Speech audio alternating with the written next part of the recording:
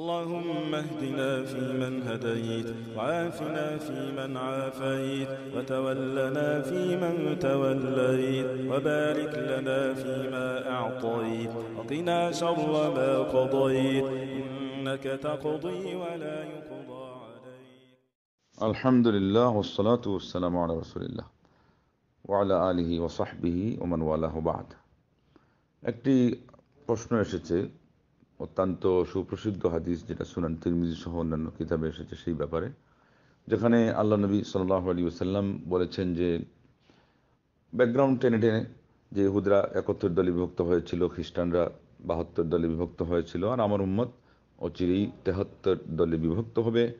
সব দলগুলো জাহান্নামি, শুধুমাত্র একটি দল ব্যতীত। সাহাবাগন জিজ্ঞেস করলেন যে আল্লাহ নবী সাল্লাহ আলী ওসাল্লাম ওরা কারা?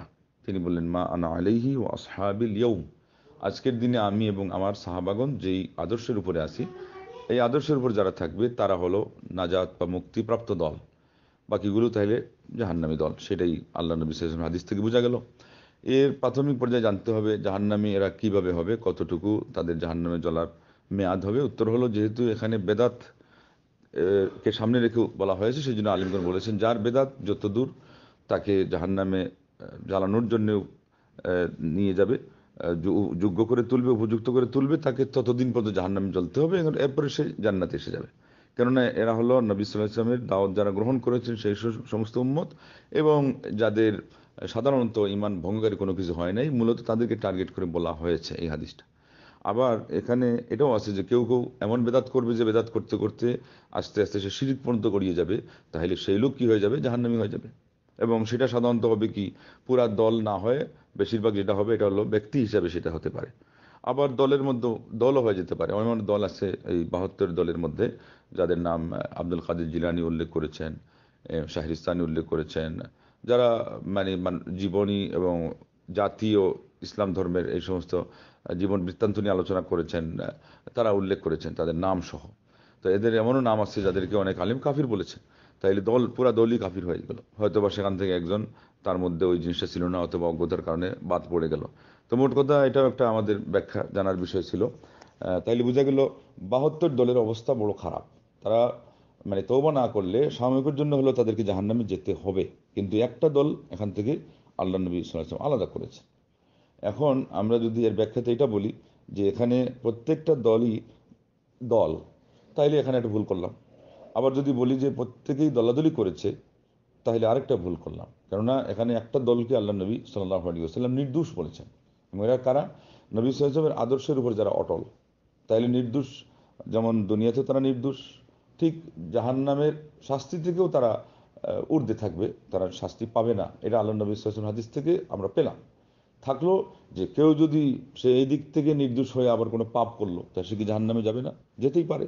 যাবে যে তাও বলা যাবে না এবং যেতে, যেতেই পারে সেটাও বলা যাবে না। যেহেতু আহলুসুল্লাহ জামাতের আকিদা হলো কাবিরা গুণাগার যেটা, সেটাকে আল্লাহ চাইলে মাফ করতেও পারেন, চাইলে শাস্তিও দিতে পারেন। কিন্তু এখানে আমি যে এদের সবাইকে অপরাধী বানিয়ে ফেললাম এবং বললাম যে না, দলাদলির মধ্যে তারা সমান, কেমনে হলো সমান? তাহলে তো আল্লাহ নবী এবং সাহাবারা, তারা তো ওই যে, এই কথা অনুযায়ী তেহত্তর দলের মধ্যে পড়ে যাচ্ছে। অতএব বুঝতে হবে যে এখানে যাদের নিন্দা করা হয়েছে, ওরা ওই বাহাত্তর দল, যারা ওই আদর্শ থেকে দূরে সরে গেছে। কিন্তু নবী সালাম এবং সাহাবারা আর তাদের আদর্শের উপর যারা অটল আছে, তারা তো স্বতন্ত্র হয়ে গেল। শুধুমাত্র তারাই তো নাজাদপ্রাপ্ত বলে আখ্যায়িত হলো। অতএব এই ব্যাখ্যা এইভাবে বলা যে প্রত্যেকেই এখানে দলের মধ্যে আমরা সামিল, এটা ভুল। বাস্তবের সাথেও মিলে না। উদাহরণস্বরূপ যেমন ওই যে পরবর্তীতে আমাদের সমাজে চারটা মাঝহাব হয়েছে। এখন লোকজন বলতেছে যারা চার মাঝহাব মানে না, তারা পঞ্চম মাঝহাব এটা এটা তাদের উপর জুলুম। তারা তো আল্লাহ নবী ইসলামের রেখে যাওয়া মাঝহাবের উপরে আছে। আপনারা চারটা মাঝহাবে বিভক্ত হয়ে দূরে সরে গেলেন। দুষ করল কারা? আর নাম দিল কাদেরকে। একই অবস্থা, কোনো পিতার যদি চারটা সন্তান থাকে, আর তিনজন আলাদা হয়ে চলে যায় মানে ওই যে সংসার হয়ে গেলে যখন গোলমাল হয় তখন ভিন্ন হয়ে যায় ভিন্ন হয়ে যায় না? এক ছেলে করছে কি সাধারণত ছোটো ছেলে থাকে সে মা বাবার সাথে আছে। এখন আপনি বললেন যে এদের তো ফ্যামিলি চার ভাগে বিভক্ত হয়ে আছে। এটা বাহ্যিকভাবে আপনি বললেন ঠিকই। কিন্তু বিভক্তির যে কাজটা বাস্তবে কাদের মধ্যে প্রতিফলিত হয়েছে, ওই তিনজনের মধ্যে যারা আলাদা হয়ে গেছে, কিন্তু যেই ছেলে মা বাবার সাথে আছে, ও নির্দোষ এবং ও এই ভাগাভাগির মধ্যে নাই। এই কথা বুঝতে যদি দেরি হয় বা ভুল হয়, তাহলে তো ফতোয়া মারাত্মক ভুল হবে। তো এই জন্যে যেভাবে বলা হচ্ছে এখানে, একটা ফুটেজ শুনলাম ক্লিপ। অডিও যে প্রত্যেকেই এখানে দলাদলির মধ্যে পড়ে গেছেন। এই দলেও একজন অলি আছে, ওই দলেও একজন অলি আছে। কামিল অলি হওয়া সত্ত্বেও আসল কথা হলো অলি বা আমরা কাকে বলব, অলি তো বলার কোনো কায়দা নেই। যাই হোক একটা পরিভাষা। ভালো মানুষকে আমরা হয়তো অনেক সময় বলি সেই হিসাবে। এটা আমরা ধরলাম যে এটা বিবেচনার বা পর্যালোচনা বা সমালোচনা উঠতে কিন্তু সবাই জাহান্নামে চলে গেলে তো আল্লাহ নবী হাদিসের উপরে আমরা কি করলাম? আঘাত হানলাম। এবং প্রত্যেক দলকে আমরা দোষী বানিয়ে দিলাম। ব্যক্তিগতভাবে কেউ যদি কোনো দলাদলির কাজে তার নিজের পক্ষ থেকে রেশারেশি আরেকজনের সাথে থাকার কারণে বা হিংসা বিদ্বেষের কারণে সে কি করল? যেইভাবে মানে ইসলামের মধ্যে যেটা গ্রহণযোগ্য না, হকপন্থী হওয়া সত্ত্বেও নিজেকে এমন কোনো আচরণের মধ্যে জড়ানো ঠিক না, যে আচরণের মাধ্যমে বোঝা যায় যে আমরা আলাদা আর মুসলিম উম্মা একেবারে মানে পচে গেছে, তাদের সাথে আমাদের কোনো ভাবেই দাওয়াতি কাজের মাধ্যমেও কোনো দিক থেকে কোনো একটা ইস্যুতে একমত হওয়া ঠিক না একসাথে নামাজ পড়তেই পারব না, একসাথে তাদের সাথে কোনো জায়গায় বসতেই পারব না। এই ধরনের একটা বয়কটের কাজ যদি করে ফেলে, কেউ শুধুমাত্র আমাদের সাথে সঙ্গ না দেওয়ার কারণে, আমরা বলব ঠিক ঠিক তদ্রুপ মানে বিতৃষ্ণা ছড়ায় এবং কেউ যাতে ঐক্যের কোনো পথ খুঁজতে গেলেও সে বাধা দেয় হকের উপরে ওরাও একমত হতে চাচ্ছে, সেই জায়গায় উনি বাধা দেয় না, ওদের সাথে আমাদের কোনো বোঝাপড়াই নেই। আমরা তখন বলব, ইনিও কি করল? একটা বিভ্রান্তিকর কাজ করল এবং একটা হিংসার আচরণ দেখাল এবং সংকীর্ণ মনা ভাব দেখাল, অথচ যারা হকপন্থী তাদের আরও উদার হওয়া দরকার। কিন্তু সেখানে হককে কোনো গোলেবালি করে দিয়ে নয়, হকের কোনো অধিকার নষ্ট করে দিয়ে নয়, আমরা সেগুলো বলব। তাদের দোষ হলে তাদের এক ধরনের আমরা পর্যালোচনা বা সমালোচনা করতে পারি। কিন্তু একচেটিয়া কোনো মানুষের বিশেষ দোষের কারণে, এমনকি যারা হকের উপরে আজকে আসে, তাদের যদি কোনো দোষ আমরা দেখিও যে বাস্তবে এটা দোষ, তো এটাকে অন্যান্য যারা দল হিসাবে দলাদলি করার যে দোষ, তার সাথে একাকার করে দেওয়া, এটা হলো অত্যুক্তি এবং অতিরঞ্জন এবং যেন কোনো দলই আর আলাদা নাই।